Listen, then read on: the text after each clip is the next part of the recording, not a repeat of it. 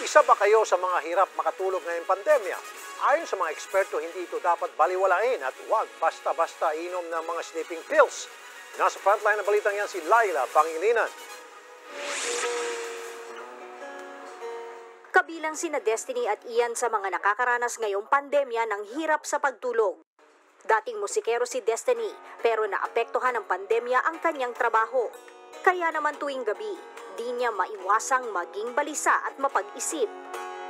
Kasi ngayon may kasamang worries eh. May kasamang ano na, ano na bang mangyayari? Hanggang kailan ganito? Eh, meron ka mang naitabing konti, tatagal lang siguro mga ilang araw.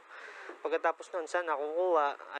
Si Ian naman, tuloy pa rin ang trabaho sa bahay bilang isang sales account manager. Pero nahihirapan din siyang makatulog dahil binabagabag siya ng kanyang konsensya. Si Ian kasi ang naatasan ng kumpanya na mag-layoff ng mga empleyado. So, nakakadugo talaga ng puso na o ano para mag, magbabawas magbabawas ng, ng empleyado ng tao Ayon sa isang neuropsychiatrist, natural lang ang nararamdaman ng mga gaya ni Ian at Destiny ngayong may pandemya. Masama raw ang epekto sa katawan ng kawalan ng tulog at sobrang pag-iisip.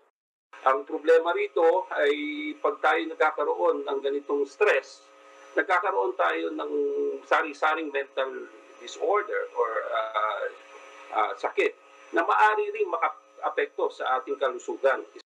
Aminado sina Ian at Destiny na umabot na sila sa pag-inom ng pampatulog.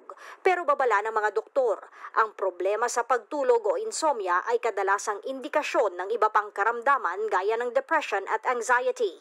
Ang dapat po nating ginagamot dito, yung sanhi ng hindi pagkakatulog.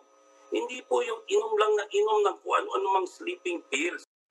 Dagdag niya, hindi dapat binabaliwala ang ganitong kondisyon dahil bawat isa sa atin may iba-ibang kondisyon ng kalusugan at kaisipan kung paano harapin ang mga pagsubok sa buhay sa gitna ng pandemya.